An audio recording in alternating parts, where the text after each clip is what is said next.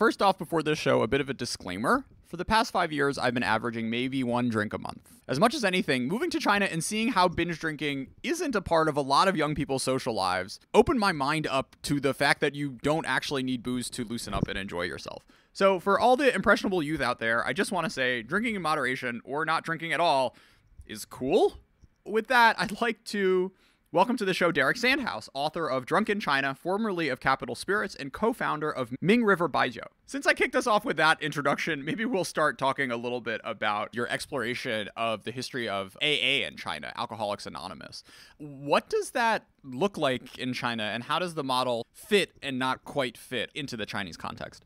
There's a few things right off the bat. I know Alcoholics Anonymous as a program, some people find it very helpful, and whoever does uh, draw a benefit from being a part of that program, uh, I say that's great. But there are a lot of people who view it as somewhat less than scientific in its approach. Some of its core principles rely on religious belief, which is a non starter in China. And it's not something that I think has a lot of buy in at the larger scale in China. So there are very few chapters of Alcoholics Anonymous, mostly in larger cities and generally they're only around places that have uh, bigger like addiction treatment centers. For most of china there's not like an aa chapter that they have access to. And some of the other kind of like more modern scientific approaches to treating what is it alcohol use disorder is the current term replacing alcoholism that is not something that China has invested a lot in or, or has many options for people. So that that is an area where there could be a lot of improvement, I would say. Let's take it back a few dynasties. But before we dive deeper into the rise of Baijiu, I want to talk a little bit about the, the, history of alcohols in China. You spent a fair amount of time on this in your book, taking it, you know, back thousands of years. But maybe we can start with Li Bai and Fu. What were the famous poets getting drunk under the moonlight drinking? Because it wasn't 80 proof alcohol, was it? No, no. So when you go back to the classical Tang Dynasty, pre Tang Dynasty poets, what they're drinking is going to be some version of Huangjiu, the like just distilled Chinese grain wine. It's usually a bit sweeter, usually tops off at about, you know, 10 to 15% alcohol by volume. Three or four times at least less potent than Baijiu. What they were drinking would not have gotten people quite as incapacitatedly drunk as people do at Baijiu banquets today. So, Derek, what happened to bring distilled liquor into China?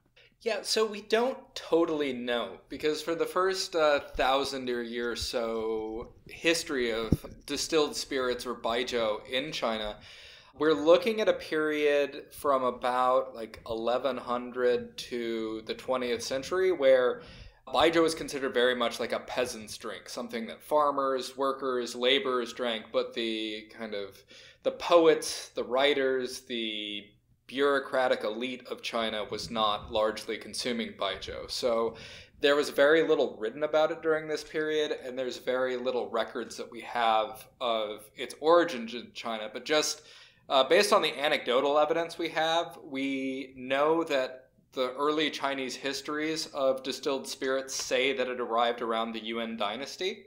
And there's some evidence that it showed up slightly before then during, during the Song dynasty. So both of these were periods in which China had large trade with the Middle East and Central Asia. So we think that these regions, which already had distilled spirits, that technology migrated to China and met with an alcohol producing culture that had existed for thousands of years and became something new, baijiu, by around the Ming Dynasty. So let's take us let's take us past the Ming. So what was this sort of adoption process of of harder liquor in China? So it was slow and gradual. As distillation traveled around China, it became several different drinks. So what we call baijiu today is actually a category that includes at least 12 different distinct types of liquor. So what they call baijiu in Beijing is a completely different drink than what they call baijiu in Sichuan. But there are certain commonalities between the two. All Baijius, for example, are distilled from grain. All of them are fermented and distilled in a solid form using a fermentation agent called qu that's been around for at least 3,000 years. And the adoption, like I said, it was originally considered a like rough and tumble peasant's drink because most baijiu then and now is made with sorghum, which is not used in many Chinese dishes. The rice wine that was more popular with the ancient Chinese elite, that would have been coming from rice, which was quite precious during China's famine prone years. Whereas sorghum was used for other things, some food products, mostly though animal feed, they used it to make brooms with. So it was a cheaper grain to make alcohol with, and baijiu is very strong. So a, a little bit of it goes a long way. It was value primarily that made it a, a like people's drink, so to speak. And it wasn't really until the 20th century that China became a, a people's republic and the role of the peasant was elevated to the forefront that it became considered the national alcoholic drink of China. That's fascinating. I, I want to stay on Huangjiu just for one more second. So, is the closest people can get to the Bai drink is sake nowadays? Like, how has that sort of rice wine lived on into the present day? There's a few different drinks that they make from fermented rice or millet in China. The oldest drinks in China used more millet than rice, and that changed about 2,000 years ago. So there's Huangjiu that you can get like in uh, Shaoxing, like near near Shanghai. That is probably the closest to what was being consumed about a thousand years ago.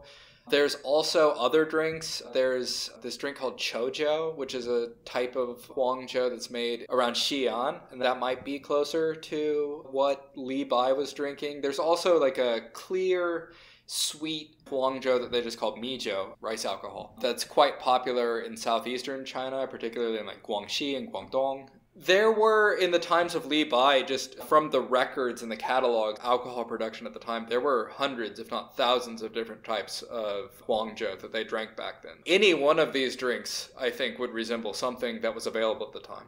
Coming back to where you left us off with the CCP and Baijiu, how did the party institutionalize this alcohol and give it sort of the place that it, it currently has in China today? There were several reasons that led to a widespread adoption of Baijiu in the early years of the CCP. The first one was just uh, preference. Like the favorite drink Zhou Enlai was uh, Guizhou Maotai. And that was during the Long March, supposedly, the, the People's Liberation Army crossed the Chishui River in Maotai seven or eight times, I think. And while they were there, they tried the baijiu, supposedly used it to clean out their wounds, and it, it, became this drink that was associated with the successful Chinese Revolution. He made that the official drink that was served at state dinners in the 1950s and it's been the state drink ever since. So that that was one of the reasons. Beijing, where the capital was set up, was one of the bigger baijiu drinking regions of the country up to that point. And so much so that the first business license issued in the People's Republic of China was the Red Star Erguotou distillery, which many people have tried and some of them even like it. But that was one thing. And it was also just an issue of China as it was industrializing during this period was looking to promote national products, things that were identifiably Chinese and popular with the working people. Many of what we would consider the biggest distilleries in China today were set up by the government going to places that were producing a lot of baijiu and consolidating all of the distilleries into large state-run operations that all of the big distilleries today came out of that period. Guizhou Maotai, Wuliangye, Luzhou Laojiao, Red Star Erguotou, those are all distilleries started during this period of time. Let's talk about the varieties of baijiu itself. You've hinted about this earlier in the conversation. And even the state owned ones that you just listed all are not making the same exact thing. So, so what's driving the variety in flavors? And maybe you know, pick out a few of your favorites uh, or, or ones that are most distinctive and tied to their, I guess, home regions or provinces. Sure. So, one of the things that the government did when it was greatly expanding the Baijiu industry and setting up these state run distilleries is that they began in the 1950s to catalog the different styles of baijiu that were made in different parts of the country. And they did several successive, I, I don't know what you would call them, like national meetings where they discussed the varieties of baijiu. And so the first one, they set up four different styles of baijiu that they thought encapsulated the universe of baijiu. And those were what they called fun fun style from like uh, Fenzhou, which is a distillery in Shanxi and they did uh, Phoenix Aroma, which came from the like uh, Xifeng West Phoenix distillery in near Xi'an. And they had Lu Aroma from Luzhou Laojiao and Mao Aroma from Guizhou Maotai. And that, those were the four types of Baijiu. But then the more they looked into it, the more they explored, they discovered there were actually quite a bit more distilleries than those four styles. And also, they noticed that by naming the styles after specific distilleries, they were favoring one distillery in a region over all of the others. so they made the names in general more generic. Like Mao Aroma became Sauce Aroma Baijiu, and Lu Aroma became Strong Aroma Baijiu, and Fen Aroma became Light Aroma. Phoenix Aroma, for whatever reason, stayed Phoenix Aroma, but because it had the best name and everyone knows immediately what a phoenix smells like. So it's a good descriptor. But yeah, so th- they did that and they've been gradually expanding that. Like most of the distilleries that have been added to this in later years are just like very small uh, niche styles of baijiu that are riffs on these like original few styles the only major addition to those initial four was rice aroma baijiu, which constitutes a pretty large region of southeastern China that, that makes its baijiu from rice rather than sorghum primarily. But otherwise, you have stuff like sesame aroma, you have medicinal aroma, you have other things that are made using very specialized productions, but are, are, are fairly limited to just a handful of distilleries. So, which of these are maybe the most appealing to a Western palate? And can you describe the few that have maybe prejudiced the masses or the Western masses against the whole category? Yeah, so I think that the most approachable style of baijiu to someone who is not a big drinker of baijiu or even other liquors is probably rice aroma baijiu, which we trace back to the like Guilin region in Guangxi. And in this style of baijiu, it's very light, it's very mild. I'd say it's very comparable in, in its flavor and smell to like sake or vodka even. Soju is a pretty good comparison. But this style of baijiu, yeah, it's just very light. It's easy to drink. It's oftentimes like bottled at a lighter strength than some of the other styles tend to be. And then I find after that, the most popular style of baijiu in China is also relatively approachable, I would say, and that's a strong aroma baijiu, which comes from Sichuan, and that tends to be like really bright and fruity, and and it has a lot of flavors, but they're familiar flavors that are, are more appealing, like pineapple, licorice, things like that. And then I would say sauce aroma baijiu, though considered one of the best in China, is very difficult for people not familiar with Asian flavors, particularly like the Asian flavors of the kitchen, because sauce aroma refers to soy sauce, and that's the style that Guizhou Maotai makes. And it tends to be very savory and very umami like mushroom, nuts, chocolate, coffee, things that are very bitter seemingly and th- there's not as much sweetness in there. So that that is a challenging flavor profile to a lot of people. And then light aroma of the the the fourth of the major four styles that is i would say it's quite difficult for some if you do drinking a lot of like Western spirits, particularly like European clear spirits, like Northern European schnapps, brandies, uh, stuff like grappa I think it's relatively approachable, but for most people, it can be a bit like bitter, crisp, a, a, little weird. Most people get a bad feeling for light aroma baijiu because of the Beijing Erguotou style of light aroma baijiu, which tends to be very inexpensive. Like a bottle of Red Star Erguotou sells for less than the price of a bottle of water in a lot of convenience stores in China. Sure. And what I like to tell people is I don't think Erguotou is bad. Try to find a bottle of liquor that is better for a dollar a bottle. But at the same time, a dollar a bottle is not going to get you very high quality spirit. Talking about sort of like which liquors turn off Westerners, it reminds me of this story. Fuchsia Dunlop, the famous cookbook author, back in the early 90s, took a handful of Sichuan's leading Chinese chefs to the West and took them all around California. They went to Chez Panisse and all the best restaurants that that the West Coast had to offer, and their reactions to it were fascinating. So this was the 90s were not necessarily a time in which you had really uh, many Western ingredient Western specialty ingredients in China, and just like even people who were interested in food didn't necessarily have a ton of exposure to Western flavors. And these chefs, they they see this fancy blue cheese and they're like, this is gross. They see red wine and they're like, this is gross. They see heavy dessert after a big meal and they have no idea what's going on. And then they get annoyed that there's no rice to fill them up at the end of the meal. These kind of taste disconnects work in both ways, right? It's not there's nothing like inherently odd about the the baijiu flavors that westerners don't tend to tend to take to. It's more just it, because clearly there are tens of millions of people who enjoy this drink, right? There's nothing about like humanity that will not take to these products, but it's such a product of the sort of flavors you were exposed to as a kid. You have this riff about Scotch whiskey being something that not many people necessarily enjoyed on their first sip, but has enough of a sort of culture and mystique around it that people are going to have that fifth, tenth, twentieth taste of this stuff and eventually will acquire a an appreciation of the of the sort of work that goes into these fancy single malts.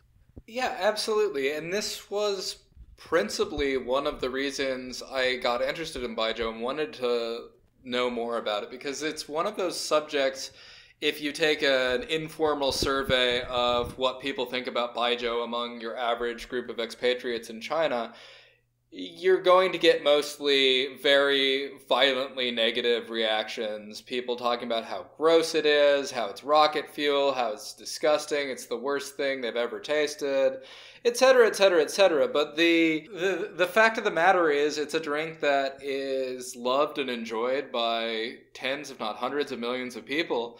And there has to be something that they're appreciating in it. You can really assume two things if you think that you don't enjoy the taste of baijiu, and that is either you don't understand the flavors, you don't understand what the producers of baijiu are trying to make, or that this huge group of people is somehow wrong. And I, I, just don't think it follows that people would do something that they don't enjoy if, if there wasn't more to it than, you, than your understanding. Yes, it is something I think that people can fairly easily learn to gain an appreciation for, but it's something that is you're very unlikely to enjoy the, the first few times you taste it. It, it just, like anything, it, it requires the cultivation of a taste. So you've done more than talk about this. You've spent a number of years of your professional career trying to attack this this problem. So before we come back to it, let's talk a little bit about Ming River Baijiu and how you decided to create your own brand and try to bring it to the West. I, I guess first off, like what was the balance of motivation between this is a market opportunity, this is something you're passionate about? Why did you end up deciding that this was a good idea? It was really a combination of all of the things you raise. For me, I had this problem when I published my first book about Baijiu. This was in 2014, Baijiu, The Essential Guide to Chinese Spirits at that time, I was one of the only people in the world writing about Baijiu in a serious way in English. And I wanted to share what I had started to appreciate about this spirit with my global peers in the spirits industry. But you had this problem of availability. You can buy Baijiu anywhere and in great variety in China, but outside of a few a handful of Chinatown liquor stores in Europe and the United States, it's almost impossible to find Baijiu in a liquor store. So even though I wanted to share this knowledge with people, there wasn't really any way that people could act upon it. I had hoped that someone would take up the charge and successfully launch a Baijiu brand in the West and that I could continue telling people about it that way. But I didn't see people doing it in either a way that I thought was going to be successful or a way that I thought was totally respectful to the product and, and its heritage. There were several people around 2010, 2011 who were getting into the international market with Baijiu brands, but they were starting from the premise that Baijiu is something that Westerners won't like unless it's made more like attractive or palatable to them. So they were doing things like having a Western distiller's filter and add flavors to Baijiu to make it friendly for non-Chinese people. But for me, I didn't think that was really celebrating what made Baijiu great. Over the years after I published that book, many people reached out to me, either Westerners who were planning to take Baijiu out of China and try to sell it in the West, or Chinese companies that were looking for assistance in marketing their product to either younger Chinese or to international audiences. And around 2016, there was an opportunity with me and a couple of people I started a consultancy with in Beijing to go into business with one of China's biggest distilleries, uh, Luzhou Laojiao. And that seemed like too good an opportunity to pass up. So, how did you guys? So, once you had the arrangement, how did you think about the fra- flavor profile and price point when making your first product for the Western market? Price point's an incredibly important consideration when you are launching a new product into the market. And this, I think, is one of the reasons why Baijiu had struggled for many years before the launch of Ming River. Because when Chinese distilleries in the past had tried to sell their products overseas, they viewed that as they were representing Baijiu and by extension China around the world. So they wanted the world to have the best. But the best Baijiu sell in China for hundreds of dollars a bottle, which is enough to scare away most casual drinkers from ever trying your product. So what we started with is we just did some basic market research, knew the kind of places, the bars, the restaurants that we wanted to sell Ming River to, and found out like what price worked for them. So we came down with about like 35 US dollars retail. And then we worked backwards from that. How could we get the best bottle? How could we get the best liquid? How could we make the best product around the price point we knew we needed? Yeah. And that right away has helped us considerably over over previous Baijius tried to sell it into the US market. Sure. So where did you land at in terms of which style? Rice Baijiu by far is the least objectionable style of Baijiu to either new drinkers of Baijiu or people who don't drink a lot of liquor to begin with because it's very mild and approachable. But what we found when we did sample tastings with bartenders in places like New York City and Berlin with rice aroma baijiu was they said, yeah, this is fine. I enjoy drinking this, but it doesn't have a lot of flavor. So it's not going to add anything that I don't really have from other less expensive drinks like vodka to to my back bar. Whereas drinks like strong aroma baijiu, sauce aroma baijiu were more exciting to bartenders because they knew right off the bat this was unlike any other drink that they had at their bar and that they could get new combinations of flavor out of their mixed drinks with it. And between strong aroma and sauce aroma, sauce aroma is much more challenging, I think, to the uninitiated baijiu palate.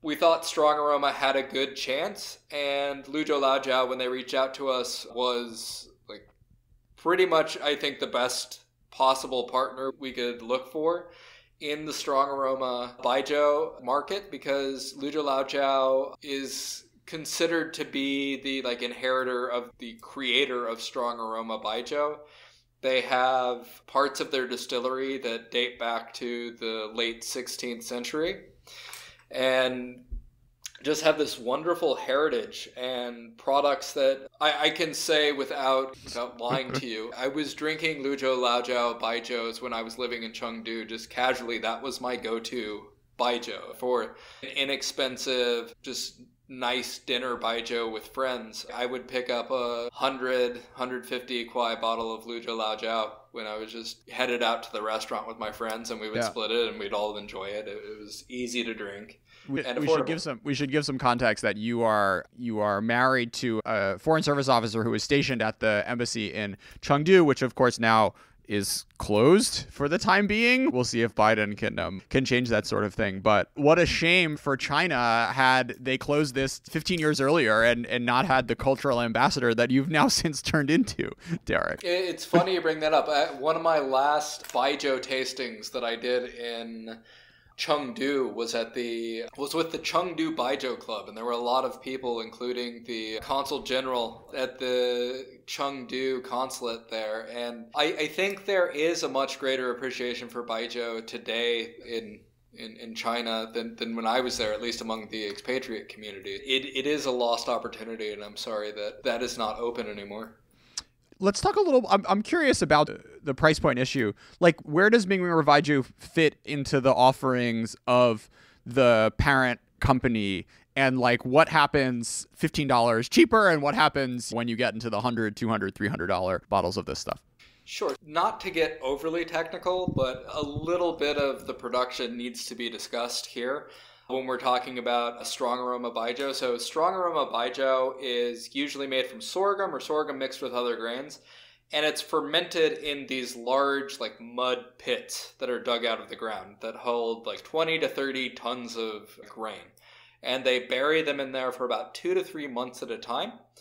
And why that's important is that this style of baijiu depends on using these mud pits over and over again so that over time they develop the patina of microorganisms that become part of the fermentation process and give the drink its distinctive flavor. So for strong aroma, they say you need to use a fermentation pit for at least three years uh, before you can start selling the baijiu as qu- a quality product. And then pits that are at least 30 to 100 years old are what's used in the highest quality of strong aroma baijiu. Two things are going into the different levels of product that are sold at our distillery. All of the baijius are blended from stuff taken from different pits. And also the stuff that the like the grain mash you get at the top of the pit tends to be drier and less desirable in, in the baijiu it produces than the grain at the bottom of the pit. So you have both different qualities of baijiu produced from different pits and different qualities of baijiu produced from mash taken from different parts of the pit. And all of this is blended together. So the more expensive products are using the best baijiu from the oldest pits. And the cheaper baijius will be using more of the less desirable baijiu from the less desirable pits. And the cheapest stuff, the stuff that sells for just a few dollars for a bottle, that stuff will be blended with some like neutral grain spirits, like uh, essentially blended with vodka, so that it's not even 100% like traditionally produced baijiu. So that's the main difference. Our baijiu, I would say, is solidly in the mid range, a little bit cheaper than ours in China. You get a brand called uh, Touqu, which is like the head chew, and the like slightly more expensive, it's what's called a Tequ, a special chew. And either of those products is fairly comparable. What really separates Ming River from either of those two brands of Luzhou Laojiao products, which I would recommend to anyone, is that we worked long and hard with the blender to get a blend that we thought could work for a variety of purposes. So we did taste tests of several different blends that highlighted different parts of the flavor profile of a strong aroma baijiu, mostly with the bartenders in New York. and we take four samples A, B, C, and D, have them taste all four of them, and maybe 50% said we like A and 50% said they like C, then we would take that feedback back to the blender and say we got 50% A, 50% C. And then she would go back and make four different blends that highlighted those flavors until we narrowed down something that we knew was something that bartenders would find really easy to work with in a cocktail, but was still something that if you just poured it neat at a banquet with a nice hot pot meal, would be perfectly at home in Luzhou. Yeah, and it's interesting your sort of emphasis on cocktails as the like market strategy because in China, of course, like aside from going into Capital Spirits, which is the bar that you were associated with in Beijing, there were not any other Chinese cocktail bar will not have baijiu as something that they're mixing with anything. I should say that Capital Spirits Bar was opened by my business partners, but I was never involved in the day to day operations of that place. We formed a consultancy together later, but the bar was entirely the work of Matthias Heger, Bill Isler, and Simon Dang. But before then, there weren't very many people working with Baijiu in the cocktail space. Baijiu was largely considered uh, a drink that you consumed exclusively with food. Sometimes it was consumed with medicine, where you'd have herbs, spices, things like snakes infused into your Baijiu and drank it for its health benefits. But in cocktails, no, you were working in China exclusively with Western spirits, broadly defined. So, what they highlighted was basically as a way to introduce people who uh, weren't big fans of Baijiu or wanted to explore Baijiu without committing to an entire bottle was a bar capital spirits that allowed you two two drinking paths. You could either try flights of different Baijiu, where you could try the four major categories of Baijiu one shot each and find out which style you like the best or you could try a variety of cocktails made with different styles of baijiu. And this was a way of introducing people in a bit more of a soft way than you would with a baijiu banquet where you would be surrounded by 10 people you work with gombaying you and asking you to drink one or two bottles with them until you got fall down drunk and had to be dragged out of the so we borrowed from this approach because we did find with my partner's experience running capital spirits in beijing that a lot of people told them they were crazy when they started this. The expatriates told them they were crazy because they thought Baijiu was gross and nobody would go to a bar that focused on Baijiu. And the locals in Beijing told them that they were crazy because baijiu wasn't served in cocktails. And, and that was weird. When they opened up, I think the clientele was about 75% expatriates going there for the novelty and the cocktails, and about 25% local Beijingers. But within a year, that had flipped. And part of the reason for that, I think, was because there were a huge number of people in China who grew up drinking baijiu in the traditional way didn't really like the the way of consuming it at the banquet table. Essentially binge drinking baijiu, but were interested in exploring it as a like domestic product that they could explore at their own leisure. So this was quite eye opening, and and it also led to a lot of Chinese distilleries sending their representatives to Capital Spirits and asking them like what they were doing and how they could learn from this model. Because there has been in recent decades a bit of a generational gap between consumers of baijiu where most baijiu in China is consumed by people who are over the age of 35, and drinkers under the age of 35 are drinking mostly other things. It's becoming a matter of increasing urgency for China Chinese distillers to find a way to attract younger customers, and, and this certainly uh, seems a, a promising path forward let's come back to Ming River for a second. So, mm-hmm. who are your what's been the breakdown between like bartenders trying to have fun and be cool in on the Lower East Side back when you could go into bars on the Lower East Side versus ethnic Chinese interested in exploring something different, folks being in China or just like total novelty seekers like finding you guys online. How is the how has the split gone so far? it's hard to tell exactly who's buying it on the like customer to customer level because we just sell to the bars, to the restaurants, and the liquor stores. And uh, we know where it's being sold, but we don't know always who is buying it. Yeah. But I would say in general, like our clientele, that just from like anecdotal experience, and maybe our online store in the last several months after we opened it, it tells us that there's a pretty good mix of, I would say, 30, 20, 30 somethings, even like early 40 somethings who tend to be middle, upper middle class, well traveled, well educated people.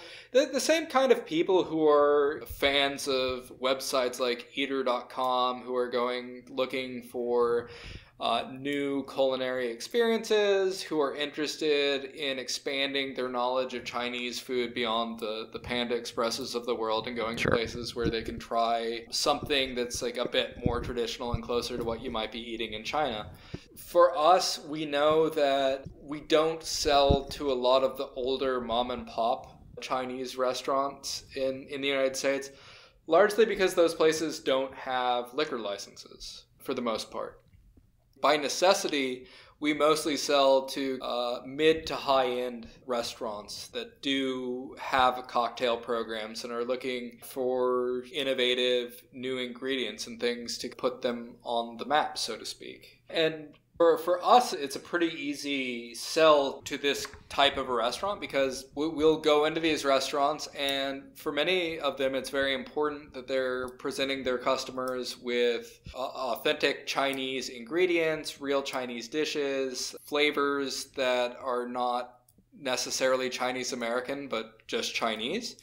And very few of them have bottles of liquor from China on their liquor shelf. It, it, while it is true that in China, baijiu is not traditionally consumed as a cocktail ingredient, baijiu is always consumed in China with other flavors, whether that's food or whether that is like an infused ingredient in a steeped cocktail. Baijiu, by its very nature, is something that is meant to be combined with other flavors. Though this is a new use of baijiu for the most part, it's very much in keeping with the way baijiu is in, intended to be consumed. And I would also add to that whiskey, rum, gin, these are all drinks that weren't used in cocktails and, until they were. Sure.